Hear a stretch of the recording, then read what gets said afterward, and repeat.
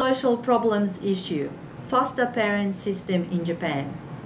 The script, the speech is created by my student. 里親制度と同性カップルについて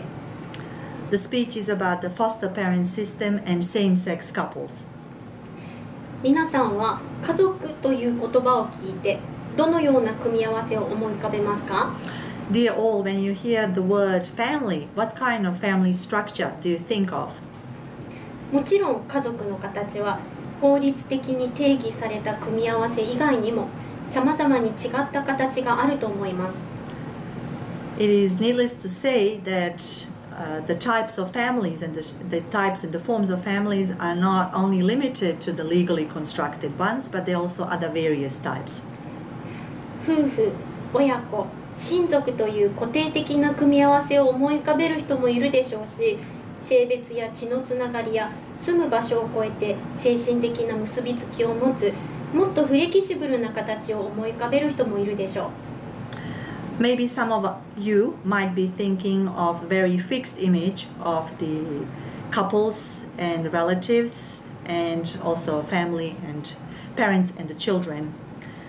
And but you might also want to think of a more flexible type of an image where there is emotional connection that is not only limited to the location and on, not only limited to the blood relatives, blood relations and also to the sex.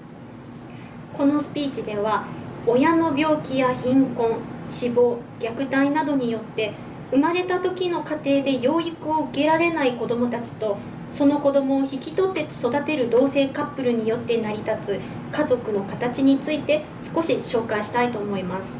In this speech, I'd like to talk to you about the families and also the children that cannot be raised in their biological families due to the illness of their parents and the,